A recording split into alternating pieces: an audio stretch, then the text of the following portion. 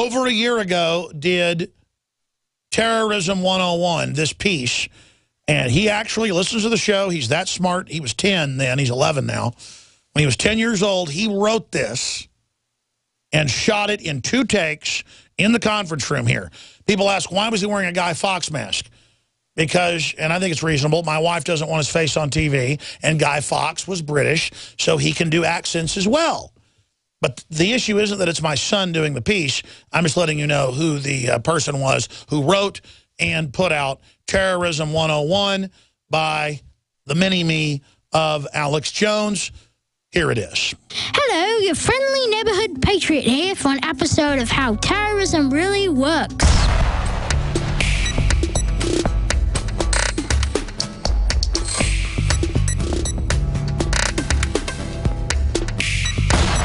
First off, our terrorist group needs a scary name. Can you say El? Let's try again. El.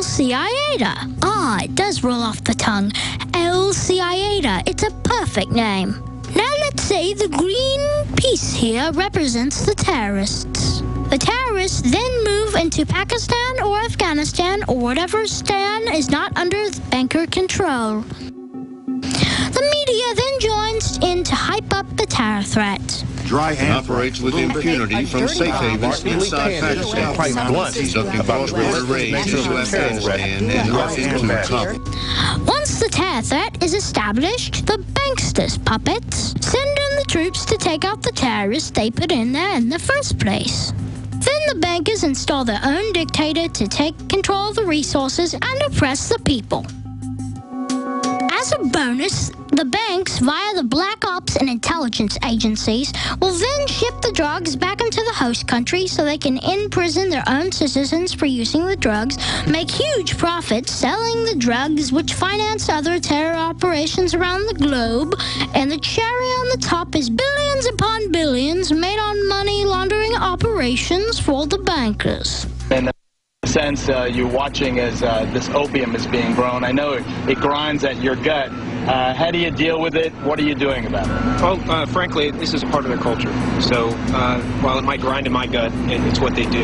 And if the citizens of the host country gets wise to these schemes or gets uppity, the banks via media will hype in nuclear terror threats, or an underwear bomber, or a Christmas tree bomber. Any excuse to take the American people's rights. Well, that just about wraps it up for Terrorism 101 How Terrorism Really Works. I'm your friendly neighborhood patriot. And now remember what Big Brother and other authoritarians say. Whatever you do, don't visit Infowars.com. Oh no, the control freaks don't like it. You have done well, my apprentice.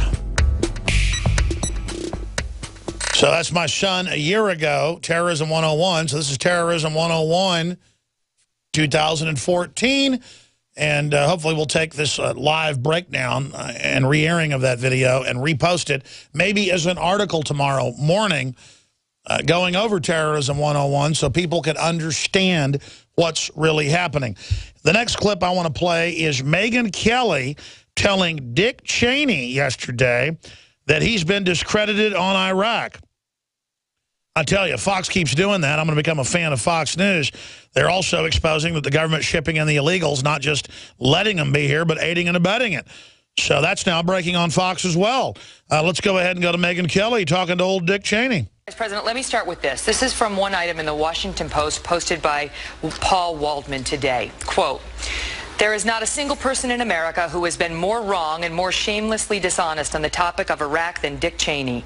And now as the cascade of misery and death and chaos he did so much to unleash rages anew, Mr. Cheney has the unadulterated gall to come before the country and tell us that it's all someone else's fault. The suggestion then is that you caused this mess, Mr. Vice President. What say you?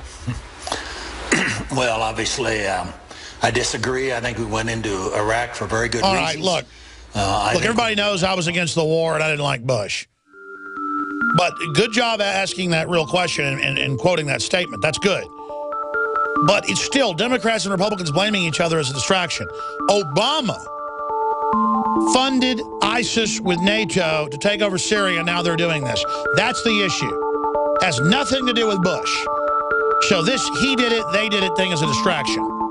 Hey folks, this is Larry Crisp for BabyBoomerBackupPlan.com. I don't have to tell you, this economy sucks. Unlike the political elite and Wall Street bankers, you know that debts don't disappear and bailouts have big consequences. Stock and real estate market bubbles can pop at any moment and evaporate most or all of your retirement savings. Folks, we're in the weakest economy of our lifetime and it's likely to get much worse. Virtually zero sectors of the economy are hiring and workforce participation is at record lows.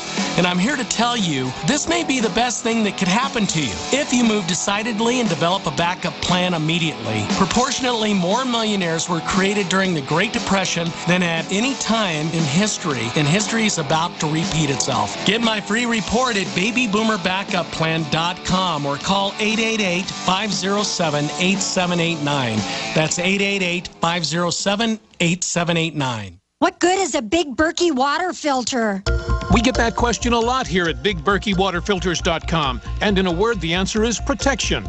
Protection from water main breaks, E. coli contamination, environmental chemical spills, pesticide runoff, chlorine taste and smell, and all forms of fluoride. Plus, Big Berkey water filters are the original gravity water filter system and most trusted on the market for a reason. Tested by multiple independent NSF EPA certified labs, they are the gold standard in water purification. At only 1.7 cents a gallon, a single set of filters can last for 5 to 10 years. That means big savings. Big Berkey, the one that's powerful enough to purify stagnant pond water. Get a Big Berkey today at BigBerkeyWaterFilters.com. GCN listeners receive 5% off all ceramic filter systems. Visit our website or call 1 877 99 Berkey. That's 877 99 B E R K E Y. Big Berkey Water Filters for the love of clean water.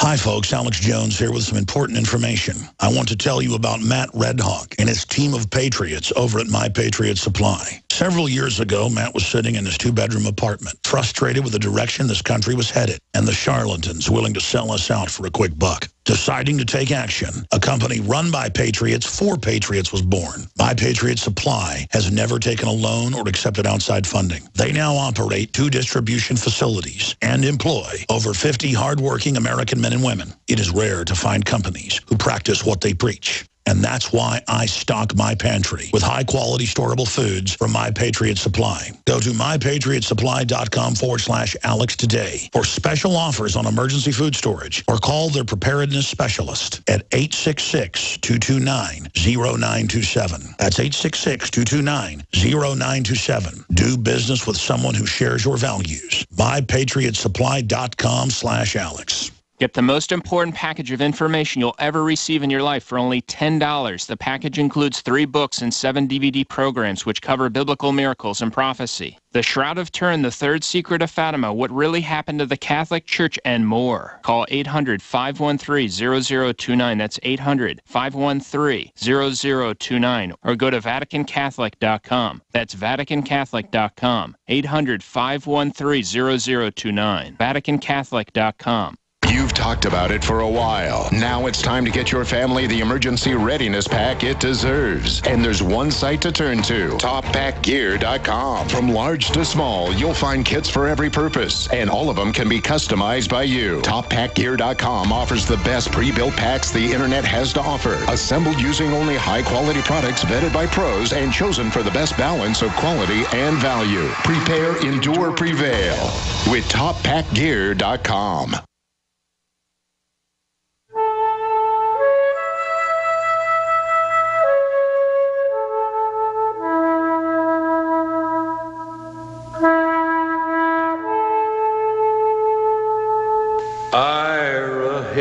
couple hours ago, they announced Obama was going to give a press conference on Iraq. Call him drunk. At 12.30 Eastern. Well, that would have been almost an hour ago because it's 1.24 Eastern. And I guess they do this to build up the suspense as if he's really running something, not the national security state, all the special interest. But I study geopolitics. I study that region. I have top experts on from around the world, whether it's General Hamid Gul, the former head of Pakistani intelligence, or Ray McGovern, the CIA morning briefer, to George Bush Sr. and Ronald Reagan, to folks like Colonel Shaffer that ran Stratus Ivy, the group that was not authorized to kill bin Laden, even though they were able to twice. I have a lot of sources, and I have sources in Israel. We had them on yesterday, high-level sources. And they say this is a triple, quadruple cross, Saudi Arabia going in alone, but that's only cover so that any outcome can be declared a victory by Obama and the, and the globalists. The, the, the neocons are involved in this as well. Zbigniew Brzezinski's involved. The Wolfowitz doctrine and the Brzezinski doctrine are almost identical. There are two different power groups, but they intersect at many levels. Iran's involved, but the president of Iraq has said that they're double-crossing them as well and wanting to take about a third of the country as a new Shiite state. You've got a Sunni group that wants to create a new country out of part of Syria and western central Iraq. You got Saudi Arabia that said they want part of Iraq. You've got a lot of weirdness going on here, but it's a mess. But no one can deny that Stinger missiles and other MANPADs were given to these different jihadi groups, Sunni groups out of Saudi Arabia, and that Saudi Arabia is deeply involved in this. It is quite a spaghetti bucket to, to, to really try to figure out. But I think in the final equation, the establishment think, see, con artists and authoritarians think that full spectrum dominance, in my experience, is really sophisticated. The truth is it always unravels. It's dishonorable. Corrupt authoritarian brains always think their subterfuge is is ensnaring everybody else. But in the end, it's the pit they fall into. That's my view. Short segment, long segment coming up. Peter Van Buren, we meant well.com, uh, is an author. Now he's a major whistleblower, 22-year veteran of the State Department, um, spent a, a, lot of time in Iraq, uh, was part of uh, a lot of the major PSYOP operations there, and then he's gone public uh, and currently works to represent uh, the uh, a group working with Edward Snowden uh, and, and trying to get his information out.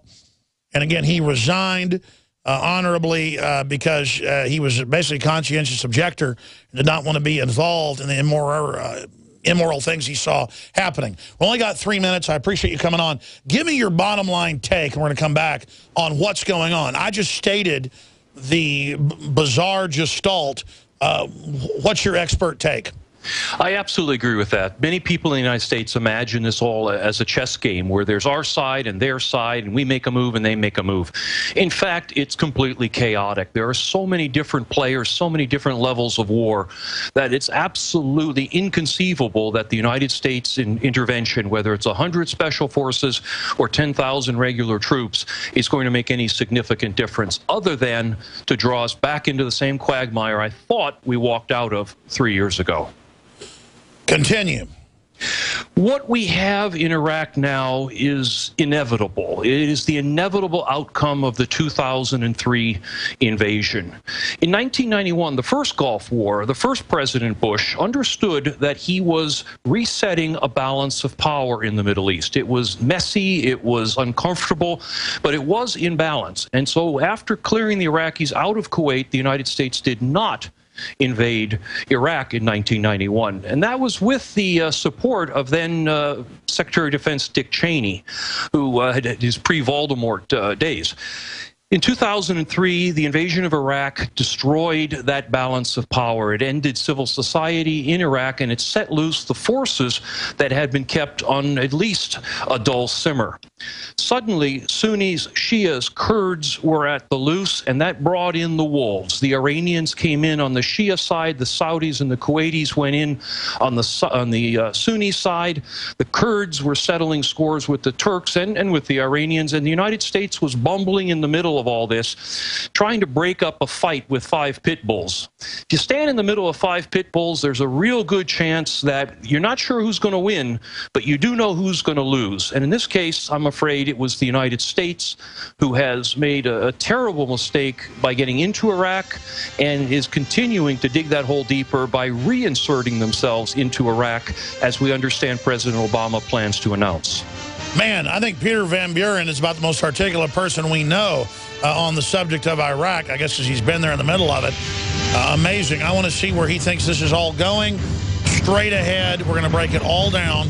Stay with us. I'm Alex Jones. We're on the march. The Empire's on the run.